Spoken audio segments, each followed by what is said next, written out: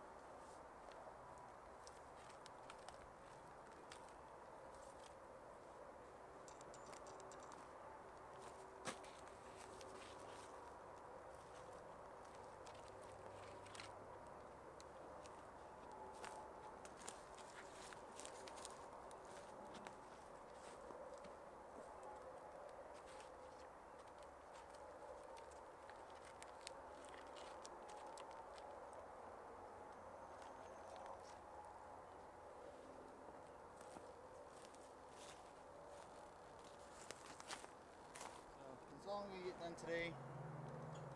Uh, who knows, I might edit the video and just kind of just show prepping, getting ready. Uh, remember, it's all done by hand. So, using my own saw, using my own axe. Uh, all hand, handheld tools. So, yeah. Catch you guys later.